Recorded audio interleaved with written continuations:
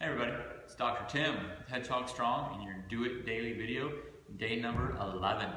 Today we're talking about the hips. Unfortunately, most of us sit all day long. That causes a lot of problems, especially in the hips. We see a lot of muscle imbalances there. What happens is we get a shortening, pretend I'm sitting here, a shortening of our hip flexors because we're flexed all day, and an inhibition, a weakening of our glutes and our anterior core. Okay?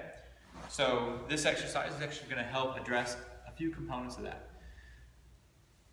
The wrong way to stretch your hip flexor is what most people do, is they'll get into this position and they'll just really go for it.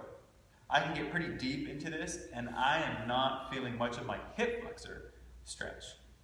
Okay? Versus the right way, which is coming up tall, and now before you stretch, posterior tilt that pelvis. What I'm doing is I'm taking my pelvis and just rocking it back, kind of tucking my tail underneath.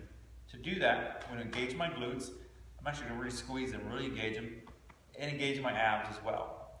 Now here, I'm already feeling a stretch on my hip flexor. Okay? So I don't really have to go forward very far at all to get a really good stretch on my hip flexor. Keep this engaged. Keep the abs engaged. It's going to help wake those muscles up. It's going to help get you some length in this hip flexor.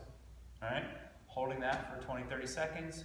Doing it twice a day is great because twice a day you're getting a purposeful engagement of your glutes and your abs. Waking up the glutes is always a good thing. Okay? Uh, do me a favor, share the video, subscribe to the YouTube channel.